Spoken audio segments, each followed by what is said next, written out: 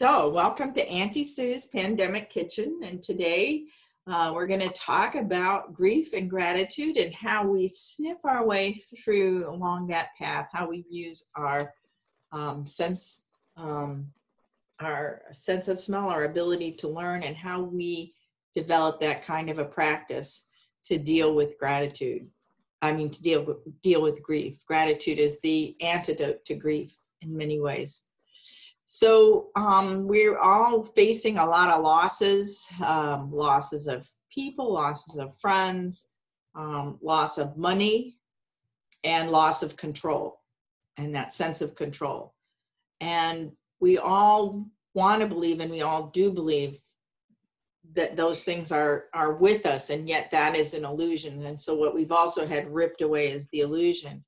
So when I studied at Harvard Divinity School, I didn't really take too many courses in the field in the area of Buddhism, but I did manage to pick up along the way um, that that is a Buddhist practice is the understanding that uh, coming to terms with the fact that almost everything that we are attached to is illusion, and um, and we certainly have had that illusion ripped away from us during this uh, virus, and that and that often leads to grief. So, what are we going to do about that? Um, and that's the practice of gratitude, that antidote to grief. Um, we talk about people who have grace under pressure. A lot of G's here. Grace under pressure. Uh, and that is also um, something that comes from being able to not only take in the grief, but also to then be able to um, feel it and process it and and and um, work with it. And gratitude i think is one of the the techniques that we we do that with. So what we're going to be talking about a little bit today is the making of a gratitude list and the using of the gratitude list to help us process um, grieving. One of the things that was really interesting in um, one of the books that i referenced and, and read when I was writing Sustainable Health was one called Altered Traits, which was written by two um, psychologists, um, both of whom they met and trained at Harvard. Um, and one of them is a professor, I believe, there, and the other one is um, has gone into another area of um, of psychology um, and he's a journalist, a psychology journalist. Anyhow, they had gone to, this was in the early 70s, and they had gone to India to study um, meditation and had become very enamored with it and realized that it made a big change in their lives. So they came back to Harvard and said, We want to write our doctoral dissertations on meditation. And Harvard had just seen the back of Richard Alpert and Timothy Leary and the whole LSD thing. And they said, if you even mention the word meditation, it will be the end of your psychology career.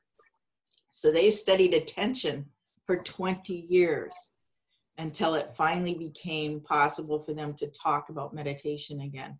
But one of the things that they found is that when they did all sorts of really intricate um, experiments with, with people who had um, generally these are, I think, um, primarily Buddhist um, monks who had been meditating for um, for decades and meditating a lot, a lot. So they had about 10,000 hours of meditation time under their belts. And those, when they, um, when they felt pain or when they felt anything at all, they felt it much more deeply than the normal the you know than the control subjects who hadn't meditated or hadn't meditated as long as they had. Um, so they felt it more deeply and they let go of it very rapidly. So that's the key is is is to feel it and to let go of it. And and if you haven't got the time to put 10,000 hours worth of time into meditation um, a gratitude list is is can be a helpful so I always approach these things by thinking in terms first of the body, then the mind and the spirit. And so, in terms of um, the body, or in, in terms of the material world, um, in traditional Chinese medicine, uh, grief is represented or resonates with the same frequency as metal. And most of the other traditions have um, earth, air, fire, and water. But Chinese medicine has a fifth element, which is metal. And metal, when we think about metal, and specifically gold is the metal that they really reference to it.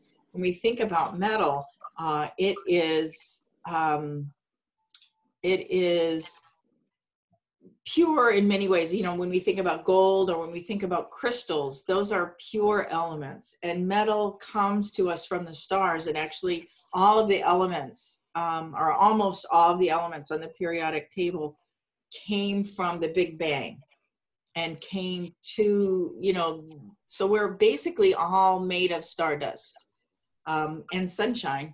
Um, we get the sunshine from the wood because the the plants you know breathe in this they eat sunshine actually and they give mm. sugar and they give us oxygen and um, so we talked about letting go with with anger in the same way um, we're talking about letting go with grief but it's a very different kind of letting go with with grief than it than the one with wood so um, we'll talk some more about that. But when we think about metal, those are also the substances we use to make tools and the things we may use to make jewelry.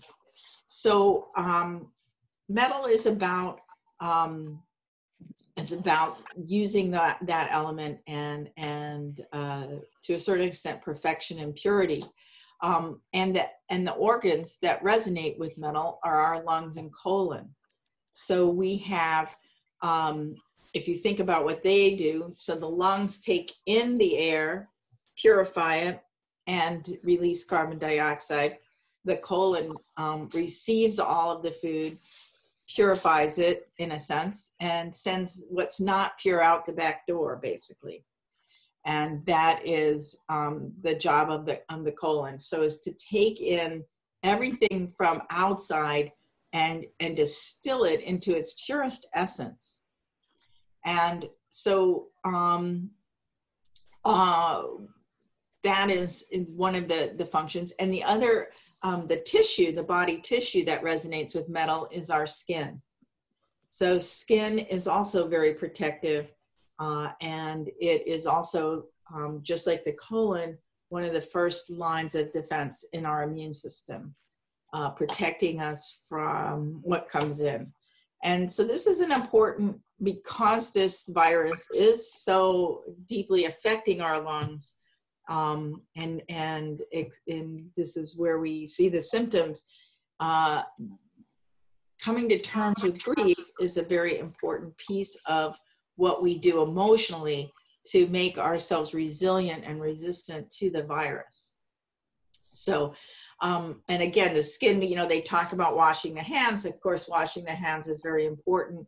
And in fact, before we had uh, the use of surgical gloves, um, that was indeed what what most medical practitioners did relied on was the washing of hands, um, their hands in between patients and that kind of thing. And it was only when when AIDS came along, and um, because of they kept that confidential um, in in medical records, you had to assume that everyone you treated had AIDS. So you had to protect yourself from the blood products. And that's when the use of gloves really became standard mm-hmm. practice in any healthcare facility. I happened to be around during that time, so I remember when we made that switch. Me too. Michelle does too, yes. Oh, yeah. Um, so um, the masks also, again, are protecting us from the taking in of that. Another line of defense before we rely on the body to do it.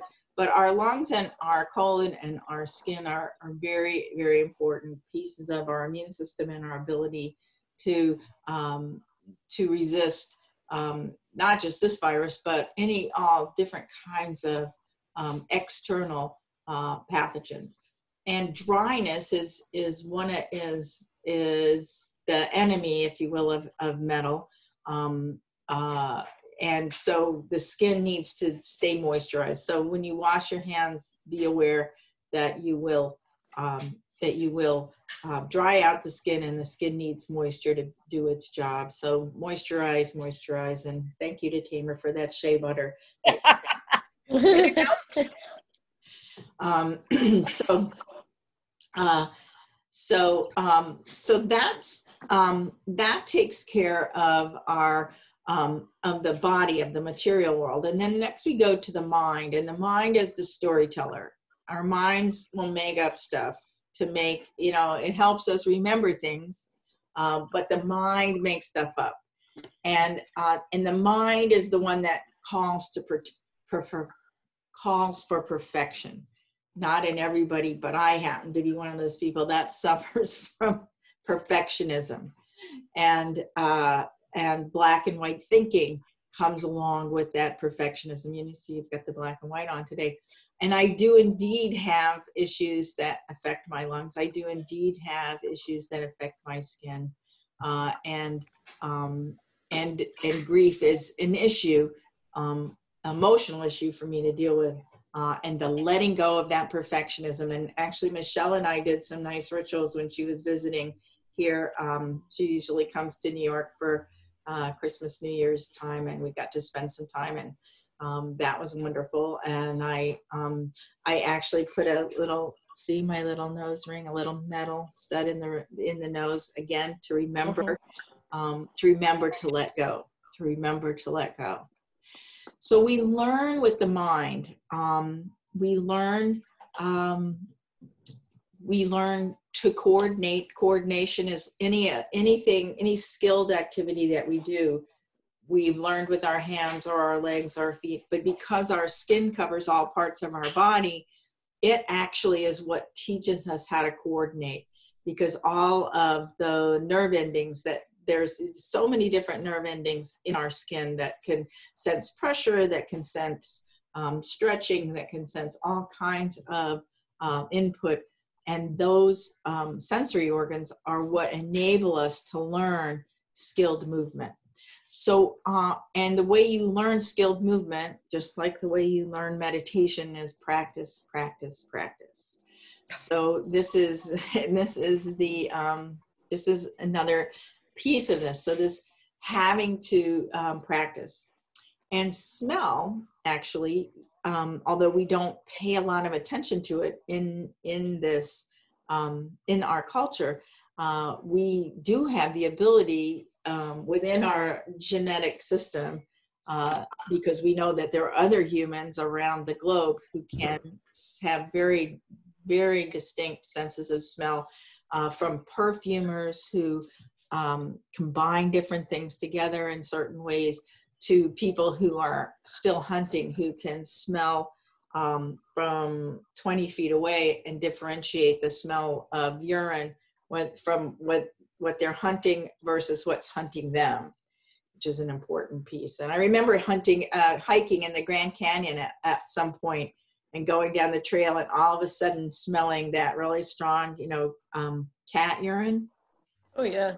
And knowing that it probably wasn't a house cat Probably not. and, and, feeling very hopeful that I wouldn't encounter whatever it was that was making that that um, making that smell. So we learn from smell, and smell is really interesting because it goes right into the part of our brain that coordinates memories with um, emotions and also with what's going on in our guts. So uh, and so smell is a really mm-hmm. important way of learning and aromatherapists use that as well so when we when we learn through practice um, and our memories that we gain through experience and practice are somewhat different than the memories we have that are more um, uh, genetic memory which we also have um, but our our experience memories uh, are linked to this metal and to this practice. And yet, um, oftentimes we may know something without actually, because that smell goes right into that part of the brain, we actually can have an intuitive um, response to things simply based on that smell and recognizing that smell from before. I worked with a teacher in um, actually she wasn't a teacher. She was an administrator in the tucson unified school district and she trained to be a teacher. And then the first time she walked into a school to do her student teaching she couldn't tolerate the smell. So people have had a bad ex- schools have a particular smell no matter where you go. They have you walk into them and that's the smell. Uh, and she had that's how she became an administrator because she, she could not work in in the school because um, she had too many negative associations apparently with that that smell so this is something that um, we may not ever it may never ever go to our conscious pathways because because it goes right in to um, the part of our bodies that protects us and the part of our bodies um, that holds those memories for us. So, um, so grief also comes along with this, and that's the spirit part of this. Um, grief is um, the emotion that's associated with metal, and if you think about um, what happens to us as we, you know, we all experience anger, we all experience um, uh, fear, uh, and anxiety, but we also all experience grief. And the way we experience grief is through the loss of something. And it starts, you know, at childhood. It starts sometimes for for some um, people as uh, even in infancy.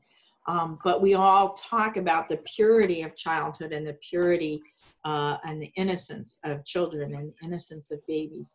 And and the emotion that they haven't experienced is grief mm. because they haven't lost but very quickly you know you lose a toy um, um, people tell you you know there's betrayals various things. And so each one of those if you will sort of tarnishes that shiny bright um, soul that we are born with.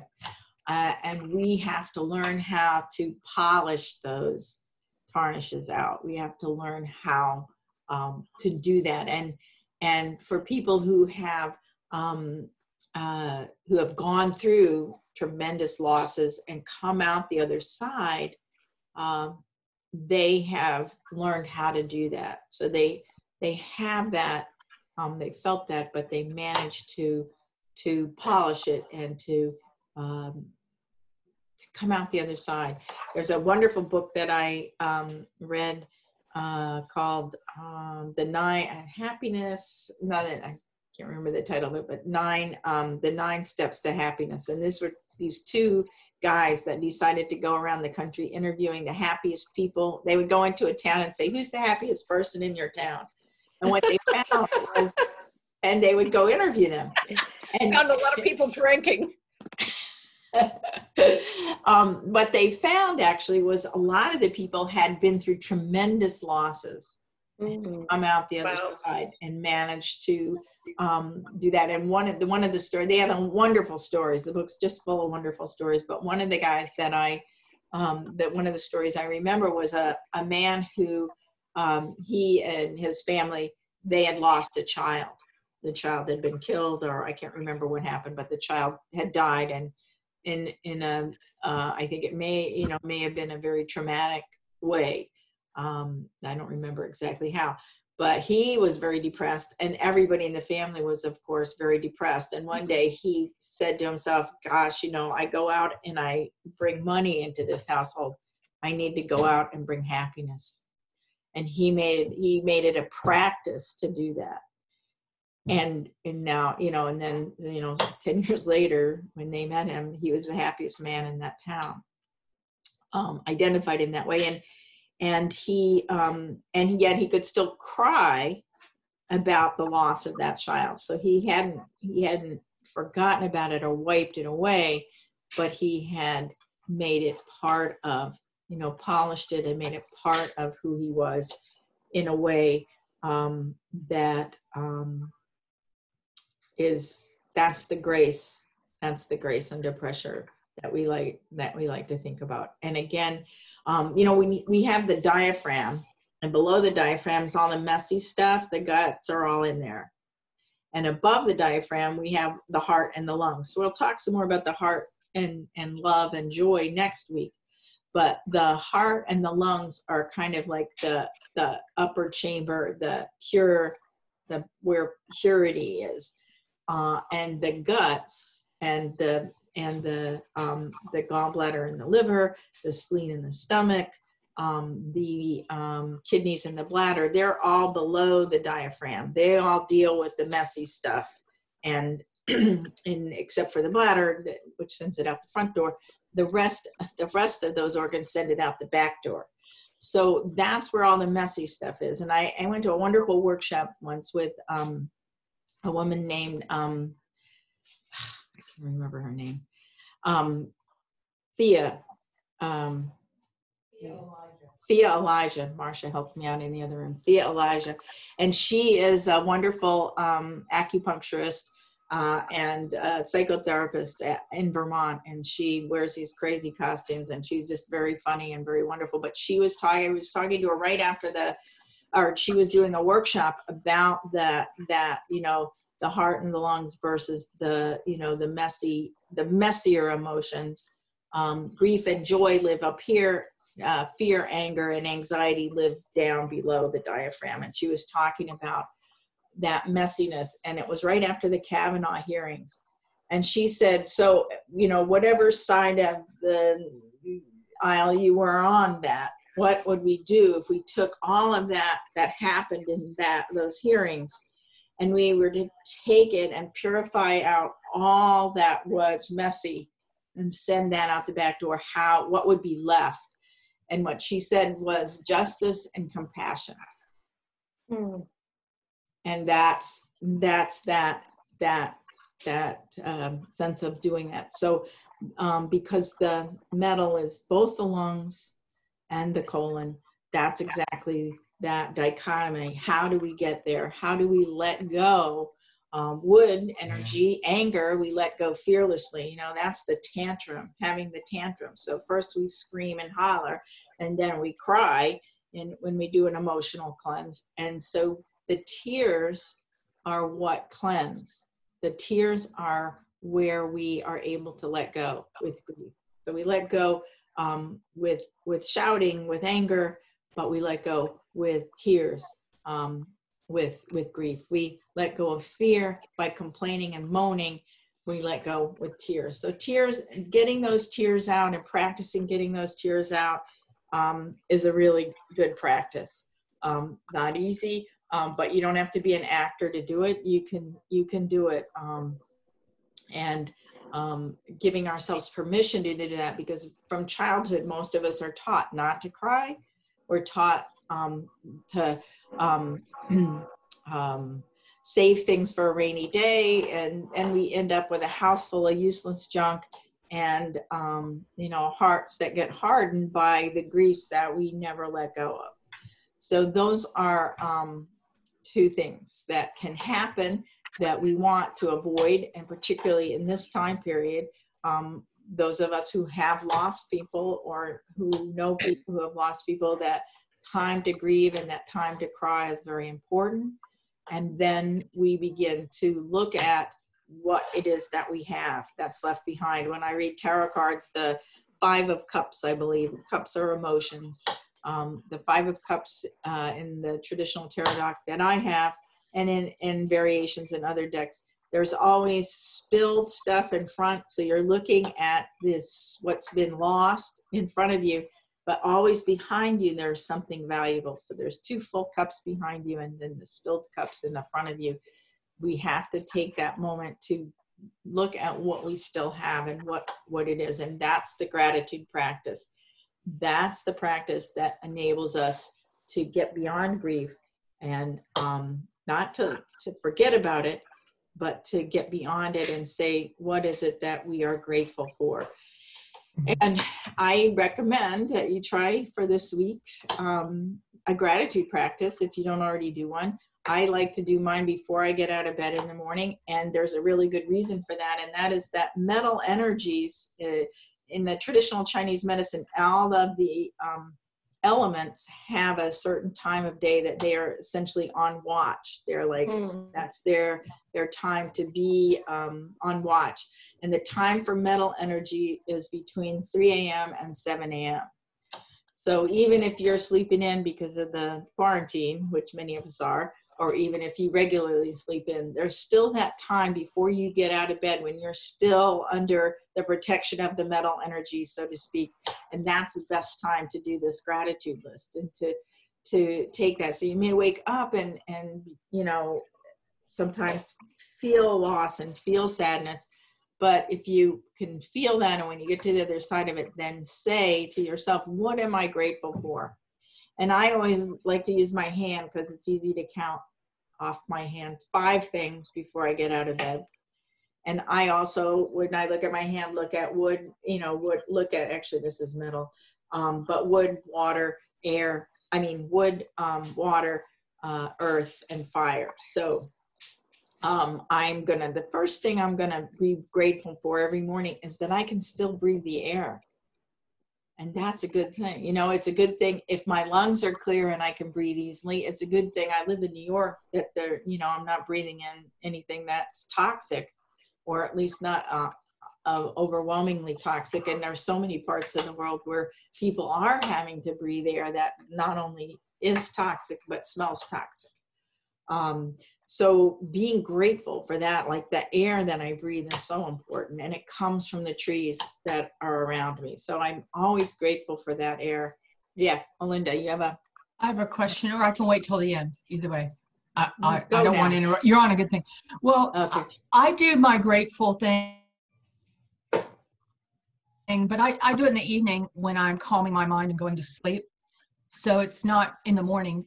You can Should do I- it both times. You can do it any time of day or night, really. But um, and and there's reasons, uh, you know, there's different things going on elementally in the evening, but um, that make it a good time as well.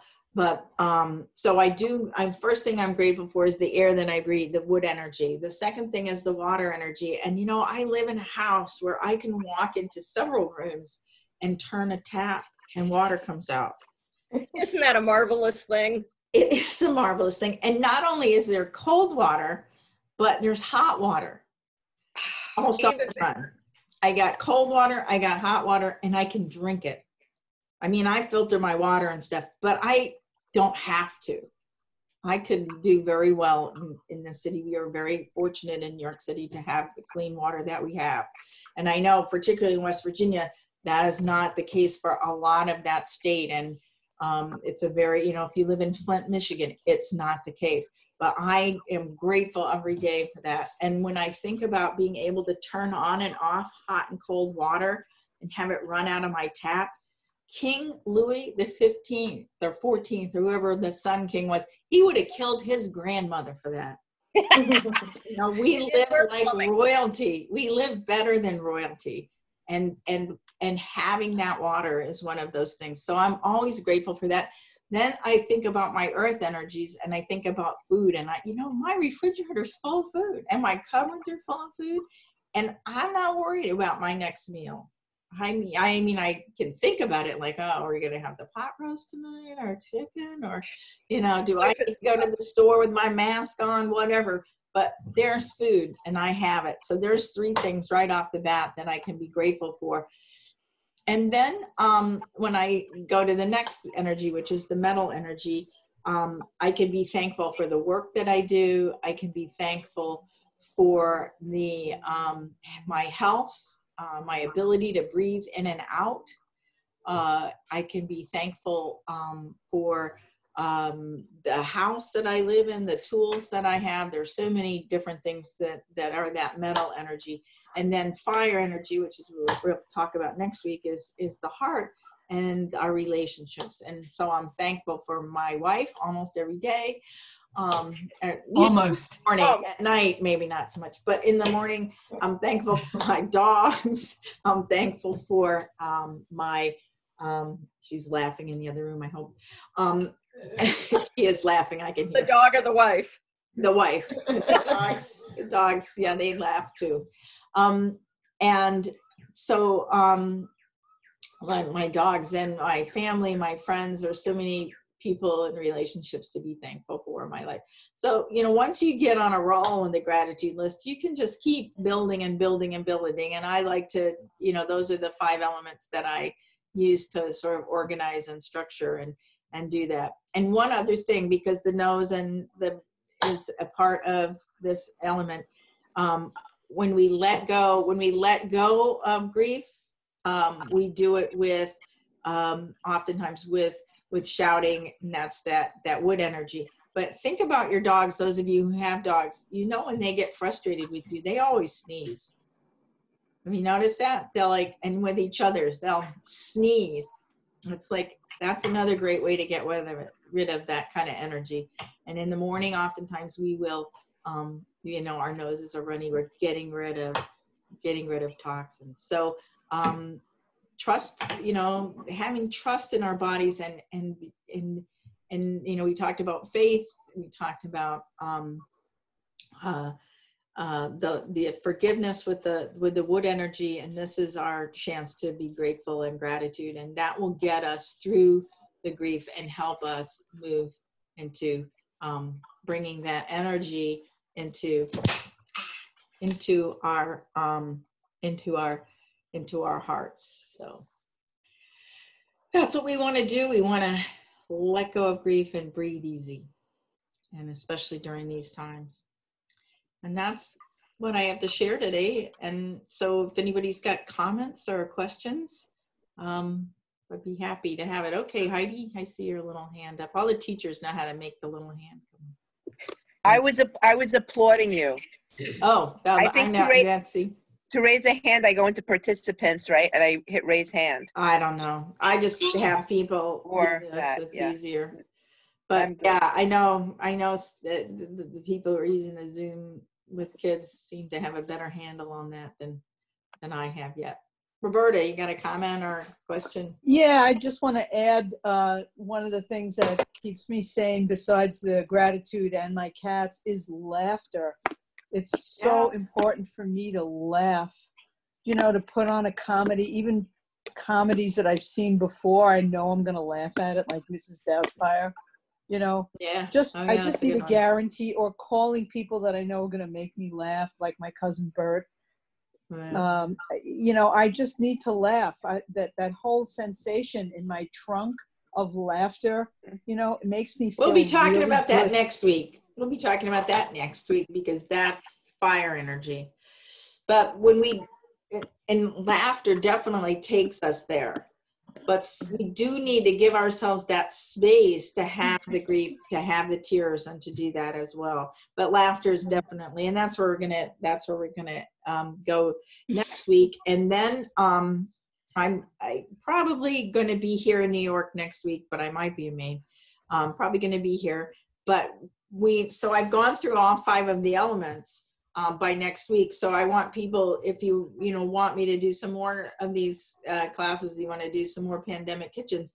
Like what kinds of health issues, what kinds of emotional issues, what kinds of things you might be interested in, and and I can take this. I can take this forever. I'm you know, with that kind of stuff. Um, so thinking about that going forward, yeah. Tara. Um, okay, there. I had to unmute myself. Um, do you, uh, Kay had mentioned composting, and she lives in Maine, and oops. Hello? Here, you're still here. Everything disappeared, but you can hear me, so that's good. We can hear you. Wondering if you know how to compost at home. I do, but I'm gonna let Kay tell you because they, she, she and my brother have more composting tricks up their sleeve than anybody I know. So Kay, do you wanna tell them all the things that you compost and where in your house? Hmm. Well, I can tell you honestly that I've gone to only composting my yard waste right now. So that's what I was turning over today. I've actually enlisted a, a service for curbside compost pickup that you pay like nine bucks a month for or something. Like pick up your compost bucket every week, which is really nice. And then they tell you where you can go and get some finished compost. So you're not the muscle that's turning it over every time. And yeah, so that's one really great way to compost because if you're in any kind of town or urban area, they're starting to be available for almost all of us now. Um, We have it here in New York City. Um, yeah, They're gonna take it away. Is that why you're asking, Tara? They're going to stop it, yeah, Yeah, they're gonna stop temporarily. Oh. temporarily. I'm really Uh, into temporarily. composting inside my apartment, like and, um, church type, but with like worms or something, or with okay, so there's a You book guys have called done the Worms worms. Eat My Garbage. And the, the book called Worms Eat My Garbage uh, will tell you how to make a worm farm in your kitchen that doesn't smell. Okay. And you've done it, right? You guys did it for a while. Yeah. Yep, Harold did that. It's And fun. then why did, why did you uh, stop? The worms died. We don't know what happened to them. We felt bad.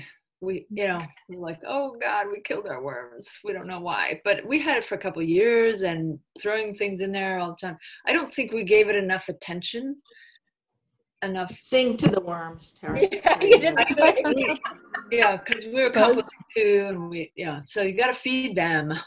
Yeah, and feeding them is important too, yeah. I also I guess you have to, you have to reduce the population maybe by taking some of them out into the garden? At some point, you do need to take some worms out, as long as you have a lot. Hey, You guys have also grown um, mushrooms on your coffee grounds too, right? Yep, there's a way you can grow. About that. mushroom. Were they edible? Yeah, edible as any mushroom. Yeah. The only mushrooms you don't want to eat is mushrooms that have grown on toxic waste because they pull the, they will pull the toxins right out of the soil. But if you're Uh-huh. making coffee, you know, they're, you don't have to worry about that. But tell them about the, do you remember how you did the coffee? Are you still growing the mushrooms under there or? No, we did one batch. You have to first create mycelium, and so you get the spores and you put it with uh, layers of newspaper, I think, Hmm. and you you make a little container with layers of the uh, spores. Uh, you can actually use already mushrooms. Like go to the store, buy some oyster mushrooms, chop them up, put them in layers in your in your little container with wet um, newspaper or some material like that. Stick it under your sink for a couple weeks, and then take it out, and it's all white. Ha! It's all white. It's mycelium, and then you take that mycelium and you layer that with your coffee grounds, and that will produce the mushrooms. Wow. That's an oversimplified explanation. There's you Google the better instructions. And you can, and you can actually, at least I think Harold was telling me, you can actually get the mushrooms, just cut the bottom end, the sort of the root. It's not exactly a root, it's mycelium. But, um, because mushrooms come from outer space or who knows what. The mushrooms are like the, the puzzle in the, in the biology, you know, thing. But, um, but you cut those, that root, the root piece off and you, um, you use that to make the mycelium and you can actually eat the mushrooms. So you get the best of both worlds. You get your Yeah. mushroom and you get to eat it too. Yeah. Make your mycelium and eat your mushroom too. So it's good. It's a good deal. So Tara did, I got something going on. Hopefully we didn't give you too much information, but there's a lot of really cool stuff like that that you can do. I, I've read about it, but I knew that you and Harold had actually done some of that. Is anybody here done, Terry Brown, have you done that kind of composting? Uh, I'm not great at composting. I have done a little bit of mushroom, but usually for the mushrooms, we just go out on walks because we're in West by God, Virginia, and they grow a lot of places. Great. And I you know where what they you're picking. so- yeah, yeah. We get, oh, we get chicken of the woods. Morels are right now. Chanterelles will be coming up soon. Wow, Uh, that's so great. oysters are always fun. We do a fair amount of mushroom hunting. It's fun. Hey, hey, Susan, um, I wonder if you could do a episode, whatever you call it, on uh, sprouting, Okay. That's making little sprouts. We could do sprouts. That'll be good. That would be the wood energy coming back around after we finish this set. Okay, So I might take a week off. Well, if I'm going to Maine, if I haven't. already. yeah, Um, but then we'll start with sprouting. That would be really good. And that's a great way. When I'm, I'm thinking about working on a book on sustainable healing and, and going, you know, so I did sustainable health, transforming, simple habits to transform your, your life. And then I, um, am working on, um, the sustainable healing, which is transforming the world. And one of the things is, is growing. Okay. Now we've got two taras. Pears. Anyway, hi Tara, you're back. Hopefully we didn't give you too much information um, about composting, but pretty much we were done by the time you disappeared, I think. So um, let's see. Um, so we'll work on some sprouting. Um, anything else? Are we? Okay, it looks like everybody's got their questions answers. It's so wonderful for me. I so appreciate all of you coming every week. I look forward to it, Listening to good. Me too. especially with Thank you. without a lot too. going on, I mean, Yeah. I don't go to work, I don't see, I mean, I still see plenty of people. I go for an hour walk every morning and I just went to the grocery store today, so it's not that I'm isolated, but I look forward to our time together. Yeah, it's really nice. I enjoy it too. So, well, um, thank you all for coming today, and um, I um, I appreciate it, and I um, will look forward to next week, and we'll talk about laughter and joy and and how to keep our hearts healthy. So, all Great right. stuff. Thank you, Susan. Bye-bye. Thank you. Bye. Bye, Sarah. everybody. Send me that email. Okay, which email? No, Tara was gonna send me an email oh, for Oh, a okay. online all right. dance thing, like a Zoom dance Okay. thing. All It's right. supposed to begin now. Okay. I don't Excellent. know if she heard me or not.